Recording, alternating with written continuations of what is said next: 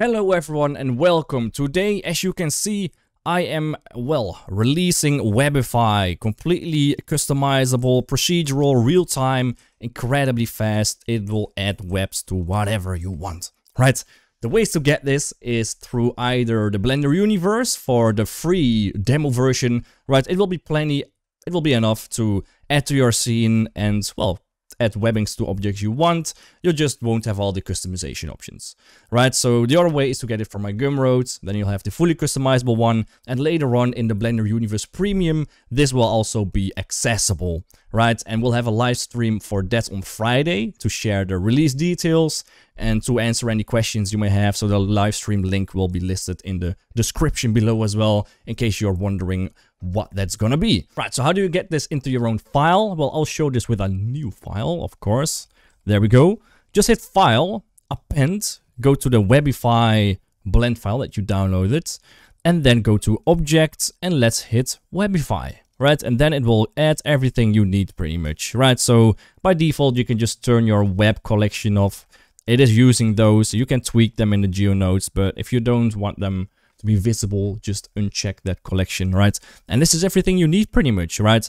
So I set this to be the default dimensions of like um, a meter, right? So that is quite, quite, quite the average kind of web size, I guess, not sure. Uh, but you can just scale everything up and it works just fine as well, right?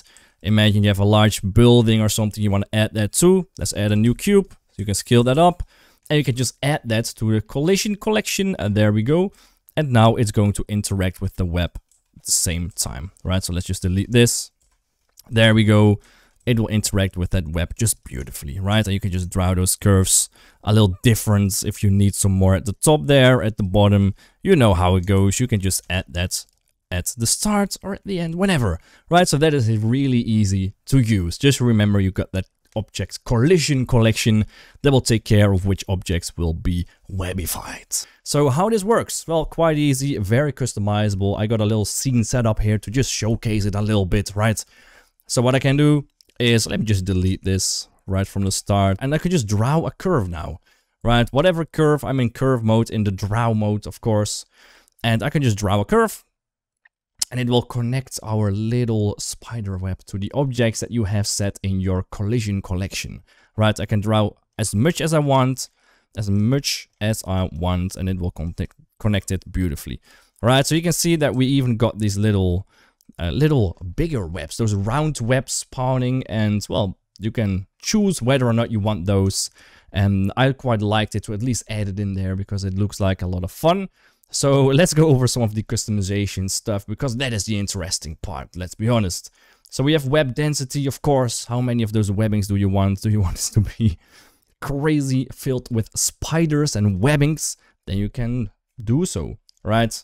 So that is our density. Now we have the web seed as well, of course, in case you just wanna just wanna try out some different styled webs. Okay, it will connect it back up beautifully, and it will even connect, as you can see, to those little circular webs. Beautiful. And I have a tertiary web density. Now, each of these densities, quaternary web density, they're all gonna make a little bit of a different look, right? So if I crank up this secondary web density, it's gonna add random density everywhere. But if I increase the quaternary, yes, exactly, to higher levels, you can see that it's adding more and more on those lines that are already there, which can give you a very interesting look as well, as you can see. Right, so that's different kind of spider webs, I guess. So that is the densities. You can change the seeds, of course. Web thickness, I crank this up quite high now, otherwise it's going to be a little bit harder to see, but it's more realistic to crank this down, of course. Web dripping, very important if I increase this, we have more drip in the in the web, right? And if I decrease it or increase this, sorry, we will have more of a straight web. You can even make this go upwards. Let's say your gravity reverses in your scene. You can then do this as well, right? Personally, a little bit of drip is good. Now we have the circular web probability. I told you before, we have the circular webbing. Sometimes you want them, sometimes you may not. If you don't, just crank the probability all the way down. And if you want a lot of them, just crank it all the way up, right? And it will add more and more and more. Beautiful. So then we have the scale of those, and you can see that the webbing interacts with that as well. If I decrease this all the way, if I increase it, you can see that those endpoints are going to try to connect to different parts. Beautiful. Now we have our hanging web probability as well. And what that is, is basically those loose webbings at the bottom, right? Sometimes our web snaps when you uh, when humans go through it with their little sticks in, in the forest, bullying spiders, for example. And so that is, well, hanging webs. You can increase, decrease that probability. If you like it a lot, increase it. If you don't, decrease it, right? It's very basic. Now we have the noise scale of that, of course, as well. You just customize it a little bit. If you want it more random, more chaotic, crank that up and otherwise down. Right, so then the strength then as well. And now there's even a nice little addition that I added, which is the droplets, right? Sometimes it rains, it gets moist outside. There's like this little mist hanging over over the grass fields. And in that case, you can add a little bit of droplets on your on your webs. Right, you can't really see it right now, but if I crank down my, or let's just increase uh, the droplet scale first to higher values, you can see that we're actually adding a little bit of droplets. And let me set the density a bit lower. Right, so you can see that we're actually adding some droplets, some water droplets on there.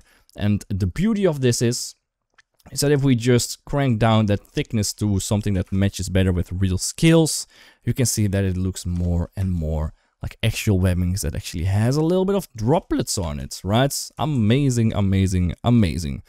Okay, so use it for sure for whatever you need right? And then go back into drawing mode and draw more of your webs. And now for the best part, it is completely real time, right? So let's go to viewport for a sec. I can move my, my objects around and the web will stay connected at all times. Scale this up as well, scale this down. It's going to be procedural and work incredibly fast, right? I can even just duplicate this and it's going to connect to more and more and more, right? So that is the beauty of this generator. It works incredibly fast. Well, that's the background, right? And it doesn't have to be a cube, of course. It can be your own object. It can be whatever. It can be Suzanne, right? Let's add Suzanne in there. Let's add it to the collision. Beautiful. There we go. So now it also collides with Suzanne. Isn't that amazing? All right, so it's very easy. It's very tweakable. And I hope you guys can use this for, for good, for for fun, making fun scenes, please do share it if you do, right? So all that you need to remember is that you have a collision collection, right? In my geometry node setup, it is going to refer to a collision collection. So everything you want to have in that collision collection, everything that you want to have webs attached to, just drop that in its own little collision collection, right? Which is going to be easy, I guess.